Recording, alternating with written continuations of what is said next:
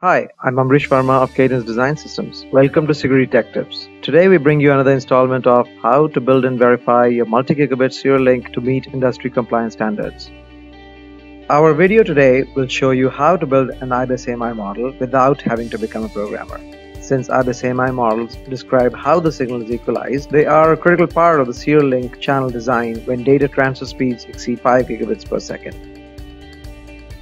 However, depending on where you are in the design cycle, you may not have an IBIS AMI model that allows you to simulate your transceiver. For instance, you may be early in the design cycle and trying to choose between industry standards such as PCI Express Gen 3 versus Gen 4, or you may be late in the design cycle and you find out your chosen SerDes vendor cannot provide a usable IBIS AMI model for their device. In either case, Sigrity can help you create an IBIS AMI model that will allow you to move forward in your design process. Being empowered to create your own IBIS AMI model lets you customize your serial link design methodology and accelerate your time to sign off.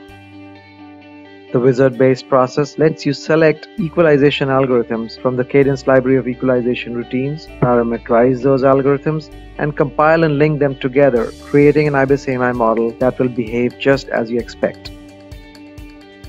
With the IBIS AMI model problem resolved, you will have plenty of time to focus on the challenging 3D aspects of serial link channel design, such as via transitions, curve traces, and entering and exiting dense pin fields on large devices that can make or break your channel design.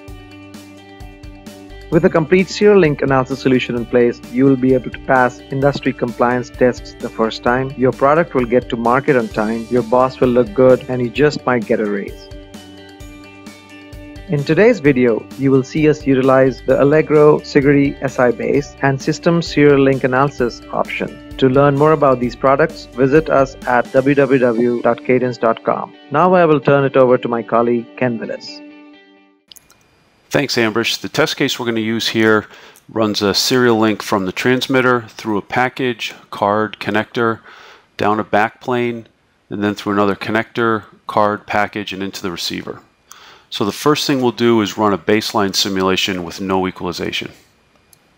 As we'd expect at this data rate, with no equalization, the eye is fully closed.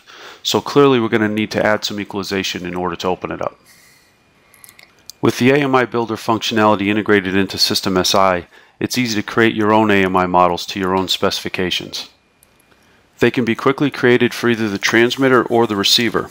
In this case, we're going to focus on creating an AMI model for our receiver. The AMI Builder wizard will walk you through the steps in creating this AMI model. First thing to do is to give it a name. There are three submodules to the RX AMI Builder wizard that we're going to walk through. The first of these is AGC, or Automatic Gain Control. AGC essentially amplifies the swing of the signal to give some differentiation between the logic 1 and the logic 0 state. Through the wizard, you can model the AGC as a simple gain amplifier or as a time domain step, pulse, or impulse response file. These are just simple text files and examples are provided with the wizard. If you hit the plot button, you can even look at a display of the waveform. For our case, we're going to model the AGC as a simple gain amp and allow it to adapt throughout the simulation. The target adaptation voltage is set for 100 millivolts. This means that the algorithm will attempt to make the median of the voltage distribution at plus or minus 100 millivolts. The next module in the RX AMI Builder Wizard is for continuous time equalization or CTE. CTE essentially complements AGC functionality where the AGC functionality tries to spread the two voltage distributions from 0 and 1 apart, the CTE attempts to sharpen up those distributions. Again, there's a couple of different modeling options here. The first is a built-in two-pole functionality where the cutoff and the roll-off frequency can be automatically calculated based on the data rate. This is very similar to that defined in the PCI Express specification. The CTE filter can also be described with a variety of simple text file formats. These can be in time domain, frequency domain, pole zero, or rational function formats.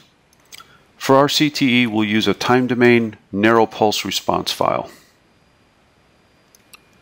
Again, this is just a simple text file which can be easily plotted right from the wizard. There's just the one pulse response in this particular CTE file, so we're going to say no to adaptation.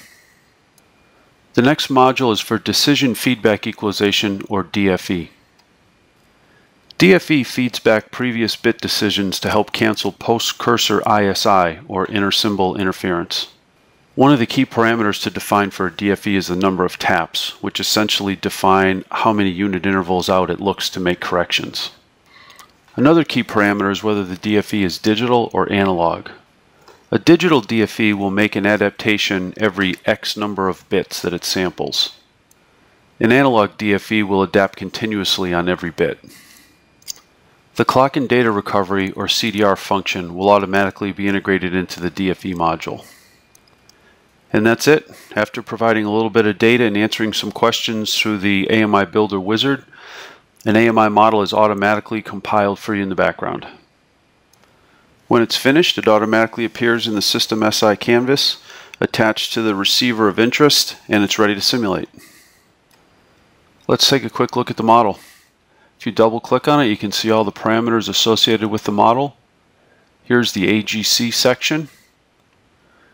Here's our CTE section. And you can see that our narrow pulse response file is defined in there. And then on to the DFE, where you can see our 5-tap digital DFE defined.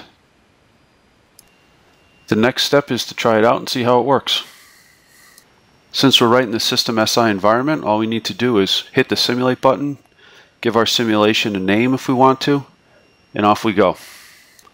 During the channel simulation, you'll get real-time plots of the eye as well as of the DFE coefficients so you can see how they're adapting. The 5-tap coefficients here have settled out pretty nicely.